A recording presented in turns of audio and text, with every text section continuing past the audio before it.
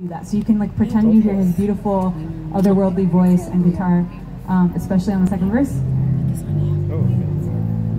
But he's not. He's not serious. Um, so this is one that I wrote to freak myself out um, about like watching less Netflix. And it's not that specifically, but just anything that's like that. Anything that has me like doing this. But then I think like I'm experiencing something, but it's like really just this all day. Um, it's been weird to realize how much of that for me personally is like what I'm up against as a creative is like the comfortable, numb thing.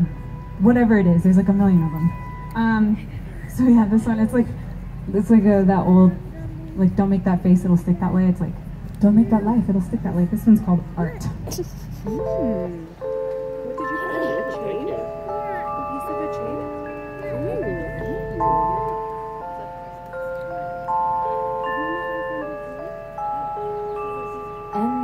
Anything's in art if you stick with it long enough. Ooh, even bad habits. Got this emptiness in my chest when I'm waking up. Ooh, cause I practice.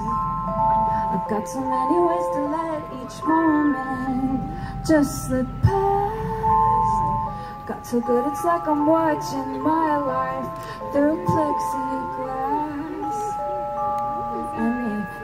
Anything's an art if you stick with it, with it long enough.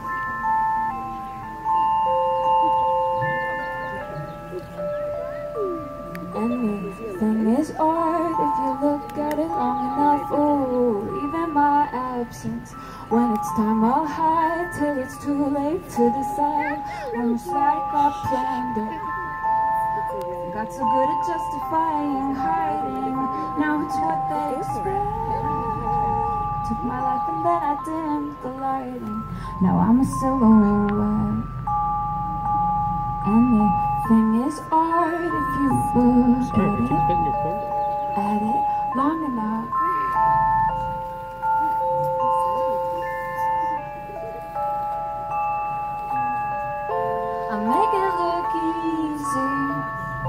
You'll have to check twice to see if I'm breathing or imitating life.